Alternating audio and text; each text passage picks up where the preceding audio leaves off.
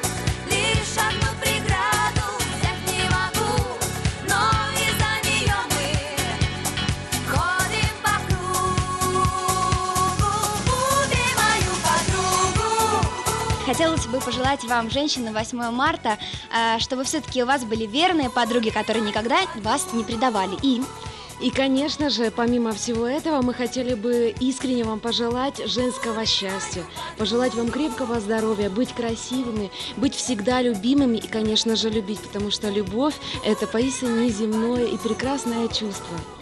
Милые наши, никогда не забывайте, что вы женщины. Любите себя. поздравляем вас. Если не сумеешь, я помогу. Лишь одну преграду взять не могу. Но из-за нее мы ходим по